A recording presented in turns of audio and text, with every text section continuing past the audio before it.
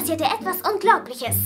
Täglich bekomme ich zahlreiche Kommentare, in denen ich mit Jero verglichen werde. Ist das die Schwester von Jero? Wieso erinnerst du mich an Jero? Deine Stimme erinnert mich an Jero, nur in weiblich. Heute werde ich euch auf all diese Fragen eine Antwort geben. Ich werde euch diese verwirrende und zum Teil auch unglaubwürdige Geschichte Schritt für Schritt erklären.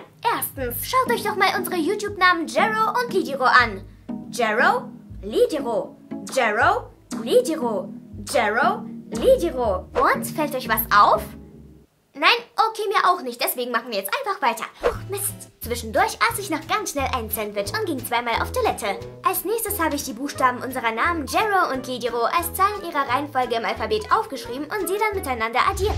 Erstaunlich, aber in beiden Fällen kam ich auf ein und dieselbe Zahl, 67. Zufall? Ich glaube nicht. Und das war erst der Anfang. 67. Interessant. Was könnte es nur sein?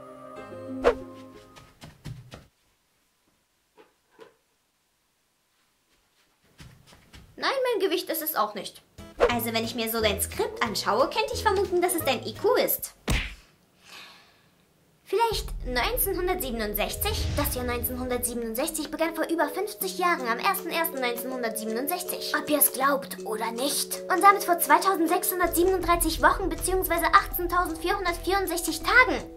Spannend aber unnötig. 1967 ist zum Beispiel meine Mama zur Welt gekommen. Und wenn sie nicht geboren wäre, dann gäbe es mich und demzufolge auch den Kanal Lidiro nicht.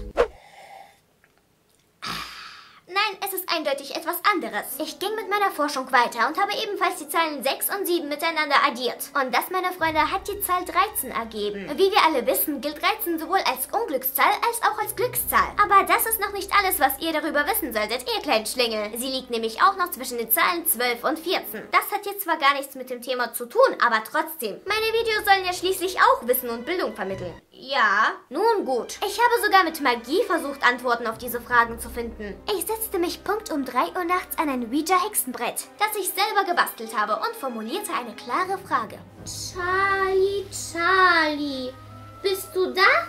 Doch dann kam meine Mom rein, gab mir eine Kopfnuss und mir verging irgendwie die Lust daran.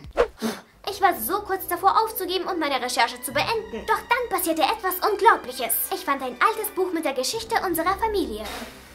Hm, ich schaute es mir an, analysierte nochmal alle Fakten, die ich im Laufe meiner Recherche gesammelt habe und formulierte schließlich eine klare und schockierende Antwort auf die Frage, was ich mit Jarrod zu tun habe. Nichts.